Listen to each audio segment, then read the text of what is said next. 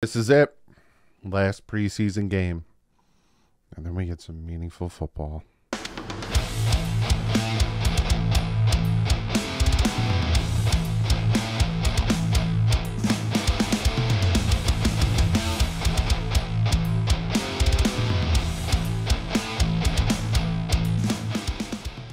What is up, Fin fans? Miami Dolphins heading up to Jacksonville to take on the Jacksonville Jaguars in their final preseason game. Then, two weeks until the Dolphins head to LA to take on the Chargers. Hopefully, they leave in about a week and stay in LA for a week, get acclimated, get situated, and then beat the crap out of the Chargers. But today we're going to be talking about the Jaguars preseason game, kind of who I think is not going to start, who I think might start. Normally we find out about a half hour to 45 minutes before the game starts. So the game's at 7, probably around like 6. We'll know who's playing, who's not playing. But I'll give you guys an idea of who I think isn't going to play and who I think will play, kind of the things we'll be looking for, all that stuff. And again, it's the final preseason game. So I can't wait. Can't wait for these wins to mean something. I can't wait for these stats to mean something. And it's not all, you know, diminished by the fact that, oh, you didn't play the first strings, or oh, this team sucks, or oh, this, or all that. Can't wait for actual, like, legit competitiveness. It's going to be fun. It's going to be a lot of fun. So let's talk about kind of who's playing and who might not be playing. Players that did not practice yesterday. Yeah, I'm like, was it yesterday? Is Eric so- uh, Saubert, Solbert Brain, Zach Sieler, Jalen Ramsey, obviously, Bethel, Achane, Da'Shawn Hand, um, Sanders, the wide receiver, Wilson, Jeff Wilson Jr., uh, Jaylen Waddle, and I don't expect to see Tyreek Hill. So out of those names besides Tyreek Hill, they didn't practice yesterday. So normally, if you don't practice, you're probably not going to play the preseason game. And that doesn't bode well for Bethel or for Sanders or Saubert, who's trying to make the team.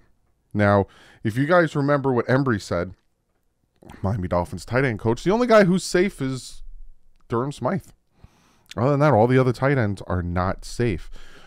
But we do get to see Tanner Conner tomorrow, which I'm excited. Hopefully, you know, he does some things, lights it up, and really makes us feel better about the tight end situation. I will say this, right? This has nothing really to really do about the game tomorrow, but kind of a, a thought process I had. The Arizona Cardinals are getting rid of their entire team. They're it looks like they're going to try to get Caleb Williams. Will they? I don't know. He even came out and said, "Look, if I don't like the team that's there, if I don't want to play for them, I'm just going to go back to college." It just is what it is. Um, so it, they it traded Isaiah Simmons to the New York Giants for a seventh round pick. Cost nothing.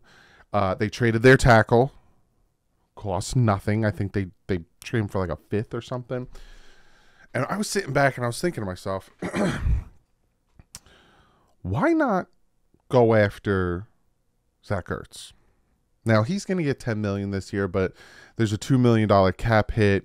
So it's like how much is he actually going to get if he's traded or all that?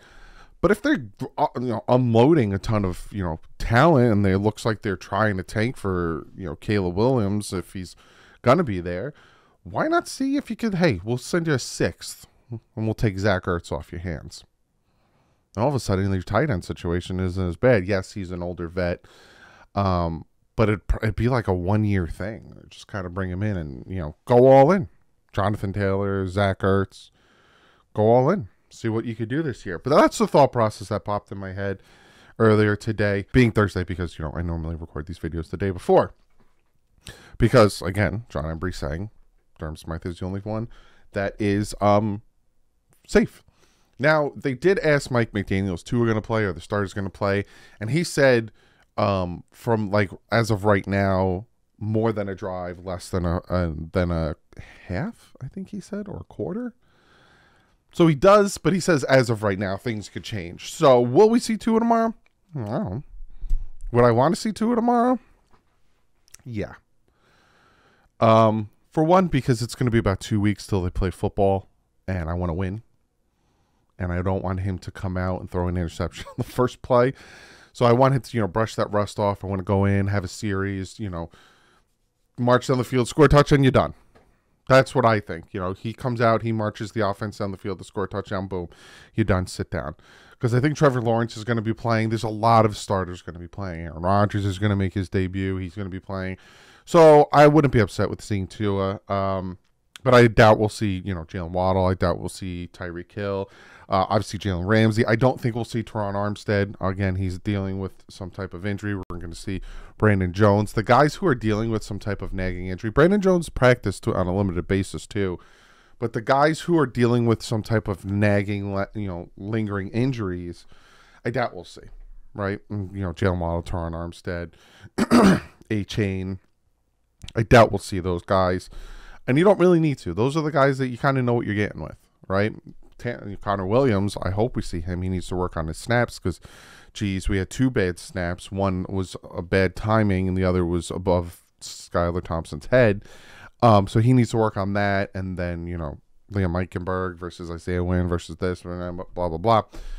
There's a lot of that stuff going on. So that's kind of my thought process and who's gonna and who's not gonna play. Now, when it comes to what to look for, it's kind of the same thing. We want to see what the offensive line can do. If the starters are in there, you know, Tua, you know, march them down the field, score, you know, uh, backups, see how they can do, how they perform, all that good stuff. Same thing with the trenches. Um, penalties. I don't want to see a lot of penalties, but obviously, first and foremost, stay healthy. I want both the Jaguars and the Miami Dolphins to stay healthy. I don't want to see any injuries. I don't want there to be any excuses for the Dolphins to win this season. Um, so I don't want to see any injuries. But also, this is kind of big because at this point in the season, the off season anyway, all these teams are going to be watching the other teams, right? So, like today, there was a bunch of games being Thursday, and then tomorrow, besides the Dolphins at seven, there's going to be a bunch of games, and all of these GMs and scouts and front office executives and all that stuff are watching these games because again, come the 29th, come Tuesday, everyone has to go from 90 to 53. And not only is it going to be cuts, but there's going to be trades. You already started seeing a bunch of trades. Um, Dobbs got traded from the Browns to the. I don't want to look it up. I just want to. Browns. He had traded from the Brown. I'm gonna have to look it up. he got traded from the Browns. You probably like commenting. He he got traded from this to this. Um to the Cardinals. Oh, jeez. A trade from the Browns to the Cardinals. Um which result. So you're going to see a lot of these things. You know, if we if the if you can get something for somebody, they're going to try to trade, right? So say the Dolphins were to, and I don't think they're gonna, but they were gonna cut Mike White. Say, you know, his concussion and he just really hasn't performed during the you know preseason and during camp. We'll move on from him, bring somebody else in. That's what they'll do. And you might say to yourself, why would these teams even want to trade when they could just wait till Tuesday?